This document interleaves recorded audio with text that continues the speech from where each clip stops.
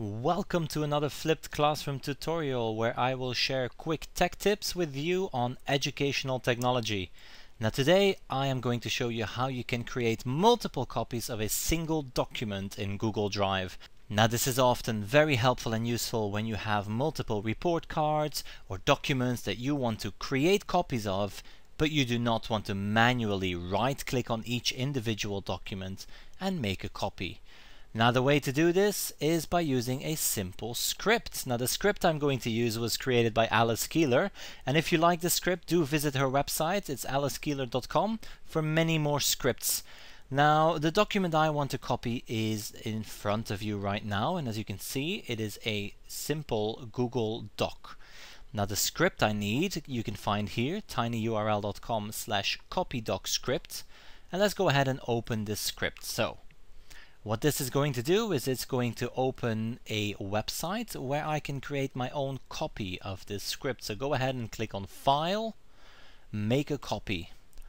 Once you've created your very own copy, you can change the code in this script.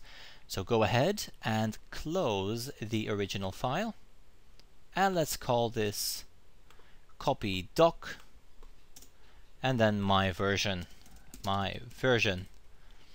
I'm going to click OK. And now there's two important things. There is the number here, which says i smaller than 30. This 30 stands for the number of copies you would like to have. So let's say I want 20 copies of this file. I change 30 to 20. And then down here you will see the ID of the file.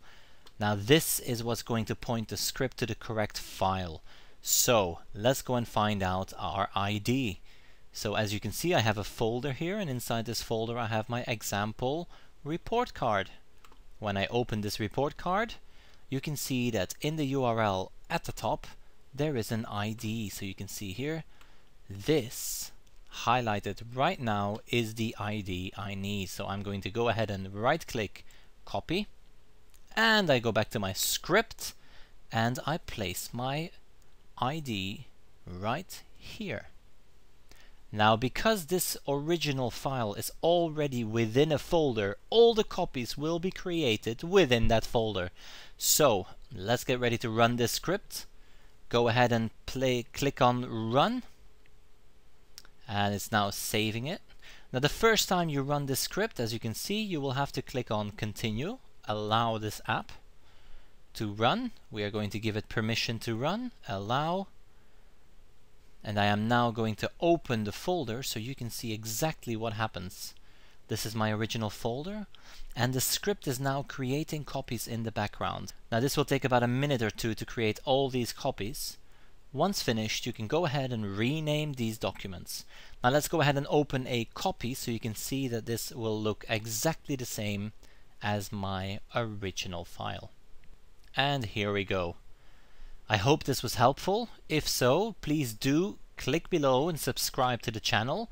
Otherwise, go ahead and watch some of the other videos available and I will be back soon with more videos. Thank you for watching.